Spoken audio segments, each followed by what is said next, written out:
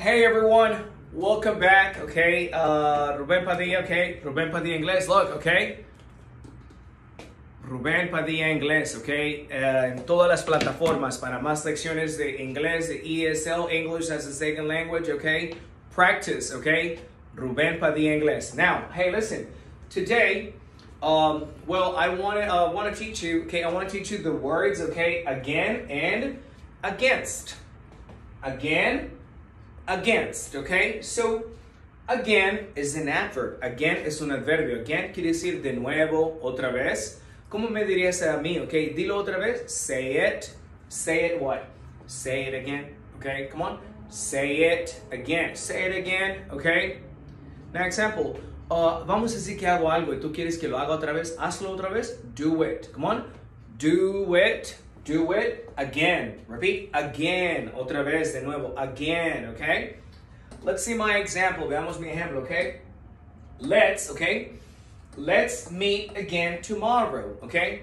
Let's meet again tomorrow. Okay. Let's meet again tomorrow. Meet es el verbo reunirse. Let's meet again tomorrow. Okay. Reunámonos de nuevo. Reunámonos otra vez mañana. Let's meet again tomorrow. Okay? Now, let's go over the word against. Okay? Míralo. Against. Repeat. Against. Okay? Against es una preposición. Against quiere decir en contra. Against. Example. ¿Cómo digo que ella está en contra del aborto? Okay? She is against abortion. Okay? She is against abortion, okay? Um, él está en contra de las drogas. He is against drugs. He is against drugs, okay? Now, let's see my example. Mi ejemplo, okay, look. ¿Cómo puedo decir a alguien que estoy en contra del abuso a los perros? I'm against, okay? I'm against dog abuse. One more time. I'm against dog abuse. Now, well, I've got a question for you. Tengo una pregunta para ti. Okay, look. Question. What are you against? What are you against? ¿Qué es mi pregunta? What are you against? ¿De qué estás en contra? What are you against? Okay?